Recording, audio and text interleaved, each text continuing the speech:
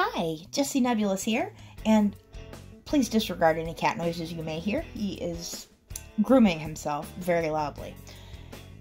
Anyway, in this video we're going to be going from start to finish on a piece, starting from the very basic sketching all the way to fully rendered. And I thought that would be interesting just to kind of document the process, because at this point I don't really have an idea. I am sketching to brainstorm. There's different types of sketching. One is where you're sketching out a specific idea, and another where you're just brainstorming. And that's what I'm doing here. I'm starting with some trees. They're not the best trees in the world, but they're trees and I enjoy trees. I draw them all the time, which is why it's one of my go-tos. So, I'm just trying to come up with an idea. Just limbering. First, I'm going to get limber and loose and warm up. And then I'm going to start looking up some references of trees and just see if I can get a spark. And I happened upon this one. This skull tree, which got me thinking about bones and such. So I decided to look up some bones. And I combined that with what I was already doing. And I tried to do a little bone tree to see how I felt about that. Well, it was okay, but it it didn't really spark anything, so I kept going. And, you know, I started drawing gems because I like gems. That's another go-to of mine. And I can fully render those if you want to learn how to draw those. I've got a video. Oh, it looks like my gel pen has run out of ink. How sad. Please, a moment of silence for a fallen gel pen. Rip. Anyway, so if you want to learn how to make those, I have a video. I'll put the card up and I'll try to remember to put it in the description as well. You can learn how to draw those. They're quite simple. Eyes are another go-to of mine, so I decided to do that. And maybe I just have a dirty mind, but what does that look like to you? Uh-huh. Anyway, and you might wonder why I have a picture of Dylan Moran. It's because I plan to draw him someday and that's an Irish comedian. If you don't know who he is, he's hilarious. But just going along, drawing a little flower, and then I'm think, thinking again, just looking through my references, and this is kind of sparking something for me. So I decided to draw a skull. And that went pretty well. So I drew another one.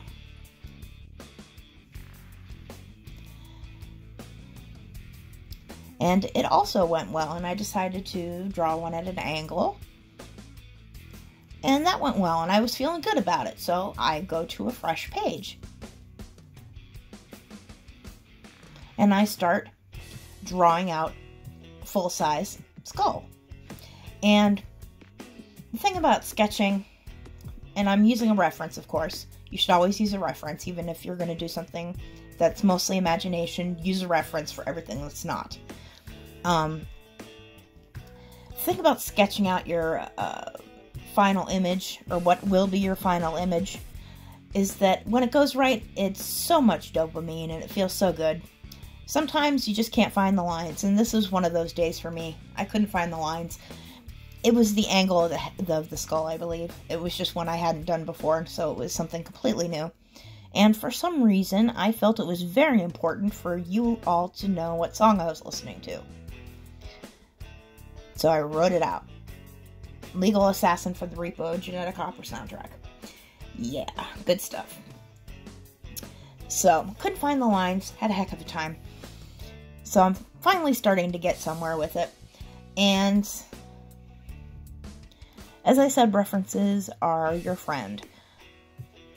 They will help you immensely to find those lines.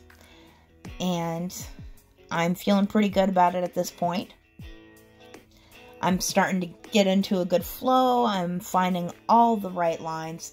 Well, all the decent lines, I guess I should say, if I'm going to be accurate. But I'm figuring out where I put a little hole there, didn't like it, decided, hmm, let me sketch out this idea real quick. And so I start looking up a reference for my idea and I start drawing some roots. Roots coming out of the eye socket and the mouth. And from the top of the head the flower that I had sketched earlier. So you see how it all comes together. Now I fiddle around with different parts of the flower and then I make a mistake here, which leads me to my tip of the video. Between sketching and rendering, take a break. I did not do that. I just kept going. You should always take a break. And the reason you should do that is because it lets your brain and your eyes reset. Because when you're staring at your drawing for however long it takes, you know, maybe an hour, you stop seeing the flaws in it. You start being unable to discern where the wrong lines are because they start to feel they start feeling right when they shouldn't i guess is what i'm trying to say. And i don't notice until much later that that flower is pretty jacked up. But the skull seems to be going well so as you can see i'm putting in the shading. And i'm starting with my darkest values. Um, some people are bothered by this. I personally enjoy, well, I shouldn't even say enjoy. It is simply easiest for me to start with my darkest values because it helps me keep the rest of my values in check.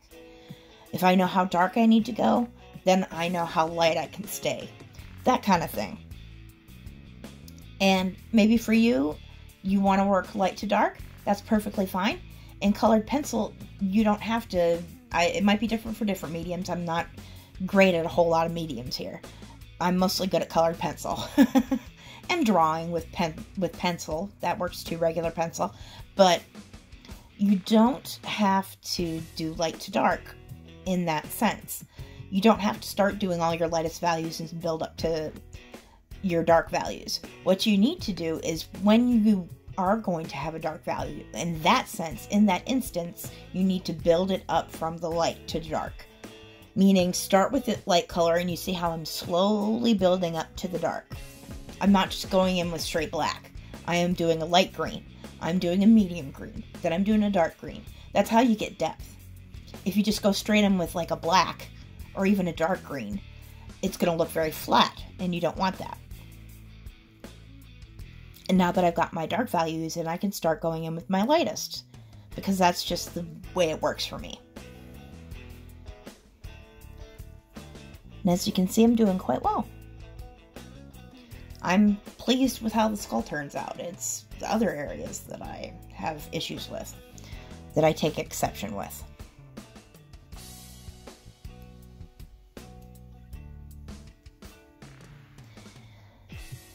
So, and I'm starting to put in the shadows around the roots and around the flower. And I had a little bit of trouble with the flower, I will admit. Um, even just the shadows. And I think the reason is because subconsciously I understood that the flower was the petals were too short on some of the some of those petals are way too short. And I think subconsciously I was aware of it, which is why I had such a hard time figuring out where to put the shadows. Because usually that kind of shadows, they're fairly straightforward, and I shouldn't have had as much trouble with it as I did. Um, there's other elements of this drawing where the shadows are much harder that I have less trouble with. And I think it's because subconsciously I knew that flower's jacked up. So, but at this point I have not noticed yet, at least not consciously. In my conscious mind, nothing is wrong yet. I am aware of no wrongness at this point in time. So, I'm starting to do shading around the back of the skull. And for this piece, I am going to blend out with white. I'm not using odorless mineral spirits. This is just a sketch page in my sketchbook. I generally don't use odorless mineral spirits on it because it's fairly thin paper and you can run into problems trying to use any sort of liquid on a thin paper and I just don't even try. There's no point. So I'm going to blend out with a white, as you will see. You can use a white pencil to blend out quite well. It will lighten the color a little bit. It's just something to be aware of. As you can see, I'm going in with um, trying to get the shadows in around those petals. Finally, it took this whole drawing to do it. I started it and then stopped it and started. It's because I think I knew on some level that they were wrong. So, deepening up the shadows around the eyes, or in the eyes, I should say, not around them. Just working my way around the piece. I generally, I don't really go in, outside of working my darks first. I don't go in any specific order. I don't finish one little small piece and then move on. I kind of jump around a little bit. I just, that's the way I work. That's my workflow. I'm adding shadows to the back of the head, continuing to render in this very pretty bluish green color. It's very nice. It's one of my favorites in this new set that I got. Which surprised me because I thought I'd like the pink most because I am a pink girl. I love pink. But I didn't really get any exciting pinks in this one. They're okay pinks, but this aquamarine kind of color, gorgeous. It is good stuff. And this piece took me maybe two and a half hours, something like that, three hours. Which I'm not saying as a flex or to complain. I'm just saying it because colored pencil is a very slow medium. So if you're going to do colored pencil, you just need to be aware of that. If that's something, if you're here because you're thinking about doing colored pencils or you know, start thinking about getting into colored pencils, it's a slow medium. Just letting you know, you're not going to finish a piece like this in 15 minutes. It's going to take a couple hours. And this isn't even like a really detailed one. Okay, as you can see, I am starting to work on the roots. Going in with a light base because light to dark in the sense that when you want a dark, you build up to that dark. Not in the sense that you have to work on your lightest values first and build up to your darks. That's something, that's a mistake people make, and they get after me sometimes, and it really, well, I, it doesn't make me mad or anything, but it does get annoying. It does get annoying. So, and I'm noticing that I need to add more shadow to the root that's inside the eye to push it back. Dark colors and cool colors will push an item or a subject into the background, and warmer colors will bring it into the foreground. So that's something that I'm keeping in mind as I'm doing these roots. Just little tips. I don't have a whole lot, but I've got a few. And it's at this point when I'm starting to work on the flowers that I'm realizing that, and if you could see, I was actually measuring with my pencil, and I realized that the petals are way too short. So what I try to do, and I don't know how successful it is, is I try to kind of make it look like the flower is, the petal is bending down and curling under, which would be why it's shorter. I don't know how successful I am at this, but that is what I attempted. At least with that one. The other ones aren't shaped in a way that I could do that. And this is why you always take a break between sketch and the render.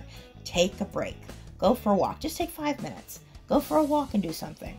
Um, you know, go to the bathroom. Just get up and go and just let your mind reset. Or another thing that's useful is maybe turn the canvas upside down or use your phone to take a picture and look at it through on the camera lens. For some reason, for some reason that helps too. I don't know what it is. It just it resets your brain. So, definitely if you take nothing away from this video except that I will be happy. because I need to learn that. And I know it, and I still didn't do it because I get impatient, because I get so excited. I want to get to the coloring because I love color. That's my favorite part of a piece, is actually putting in the color. My least favorite part is usually the sketching and getting all the proportions correct, obviously, which is the problem here. So I get impatient to get to the coloring, and my work suffers for it. So it's something I need to learn, and if you can learn with me, that's awesome.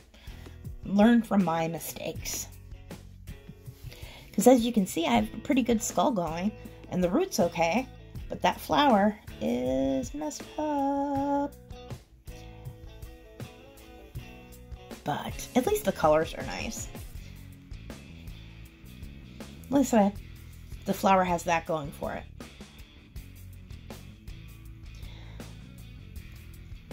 And looking back at the flower now, it's been, you know, I finished this yesterday. I was disgusted with it, and I was, I was so done. I didn't spend as much time on the flower as I intended because I was so done with it. But it's actually not as bad as I originally thought. Which is another thing. Try not to critique your work too too severely. You're only human. Okay, we're coming up close to the end of this video and the end of this piece. Just going to fill out the middle. I didn't even put much detail into it because I was so sick of it and just wanted to be done with it. But coming to the end of the video. And this is the final piece. Thank you for joining me. My name is Jessie Nebulous. If you had any value in this, please leave a like and subscribe. Thank you very much. Bye.